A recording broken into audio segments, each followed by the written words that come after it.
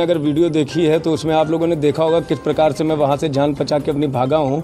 हम लोग स्वागत के लिए वहाँ जा रहे थे, माननीय उप मुख्यमंत्री जी के स्वागत वो आने वाले थे तो उनके स्वागत के लिए कालेश्वरण मोड़ जा रहे थे। तो रास्ते में तुकनिया के पास ये सब लोग किसान के भेष में जो ये उपद्रवी इकट्ठा थे, इन लोगों ने गाड़ियों पर सीधे हमला किया है। इन्होंने लाठी डंडे से और पत्थरबाजी करना शुरू कर दिया, जिसमें ड्राइवर भी थोड़ा सा घायल हुआ पत्थरबाजी से। उसके बाद वो गाड़ी जाके किनारे उसकी रुक गई, लग गई वहाँ पे। गाड़ी आगे नहीं बढ़ी तो उसको वहाँ से खींच लिया इन लोगों ने। ये लगातार गाड़ी को रोकने का प्रयास शुरुआत से कर रहे थे कि कैसे भी गाड़ी को रोक लें और गाड़ी के अंदर जो लोग हैं, उनको वहाँ पर मौत के घाट उतार दें।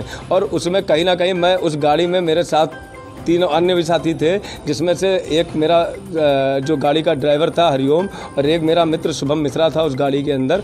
एक वहाँ का कार्यकर्ता, वहीं लोकल का कोई कार्यकर्ता था, उसको मैं व्यक्तिगत नाम से नहीं जानता हूँ, लेकिन वो भी उस गाड़ी में था, जिसकी अभी मुझे कोई जानकारी नहीं मिली है कि उसके साथ क्या। लेकिन ये दोनों लोगों को मैंने देखा, हरिओम को तो वहीं ये लोग सीधे मारना शुरू कर दिए थे, बहुत धारदार हथियार से उसके ऊपर हमला कर रहे थे, और उसको बाद में सोशल मीडिया पर पता लगा कि इन दोनों की हत्या कर दी गई है। आशीष मिश्रा का होना बताया जा रहा है नहीं, आशीष मिश्रा भैया तो कार्यक्रम स्थल पे थे। वो कार्यक्रम कैसे सुचारू रूप से चले, चूँकि कुश्ती प्रतियोगिता सुबह से प्रारंभ हो जाती है तो वो वहाँ कार्यक्रम चल रहा था और उसी कार्यक्रम में बने हुए थे। और उनको जो माननीय उप मुख्यमंत्री जी मुख्य अतिथि थे उस कार्यक्रम के, वो वहीं मंच पर ही उनका स्वागत के लिए वहाँ पर